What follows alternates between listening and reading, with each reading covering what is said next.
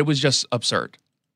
Then you had Vivek Ramaswamy, who on this particular issue, I don't think he gave the strongest answer, but he did bring up, I think, a very interesting point that we just don't talk about. And I suppose I was a little bit surprised to hear this argument coming from Ramaswamy versus, say, a Mike Pence, which is it's not just about stronger police, but he also got into faith and the role that that plays. But before then, he gets into sort of the mental health stuff, which again is incredibly important. So the reality is, we have a crime wave in this country and we know how to fix it. The question is, do we actually have the spine to do it?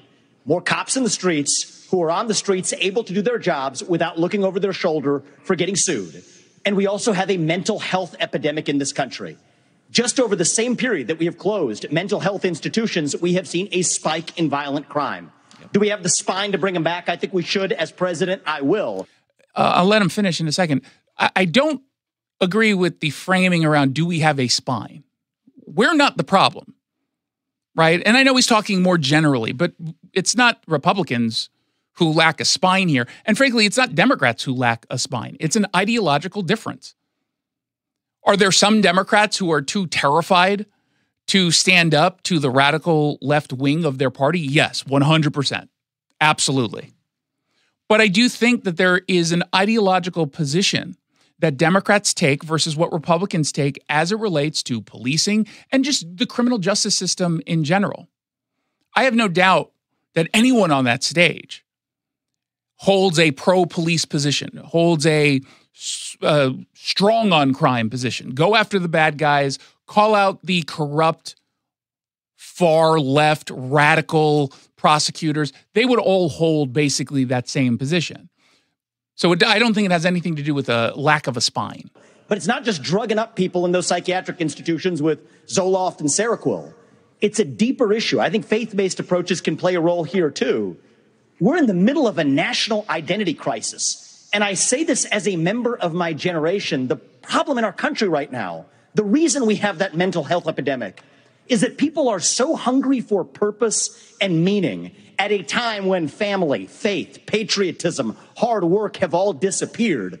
What we really need is a tonal reset from the top, saying that this is what it means to be an American. Yes, we will stand for the rule of law. Yes, we will close the southern border where criminals are coming in every day. And yes, we will back law enforcement because we remember who we really are to me, that was an interesting way to answer this question.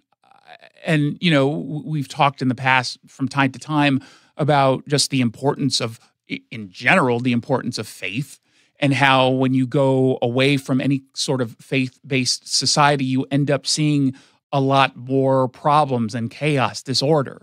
And what have we seen over the course of the last, what, decade or so? We've very clearly seen a decline in the trust in faith. So I, I, I liked his answer. I didn't think it was the strongest, but it was interesting. And ironically, it came from him instead of Mike Pence. And then even with some further irony, it was at that point that Mike Pence went after Ramaswamy. Because at the end there, he starts to talk about, you know, what is our identity as a nation?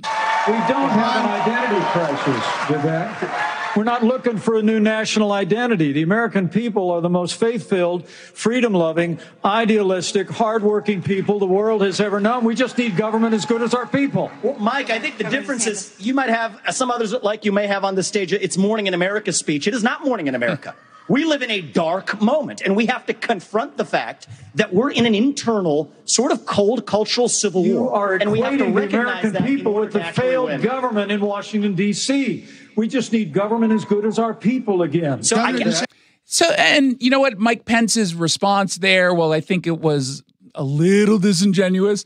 There's some truth to that, right? I mean, I don't think that the vast majority of people, I don't think the vast majority of Democrats hold positions that the Democrats in party power hold, right? The average voter who's a Democrat, I don't think they ever supported the defund movement. I don't think they believe ACAB. I don't think they hold a position on white supremacy culture and how we have to dismantle systems of oppression. But at the same time, they are the ones who constantly put these people in positions of power who do, in fact, believe that nonsense.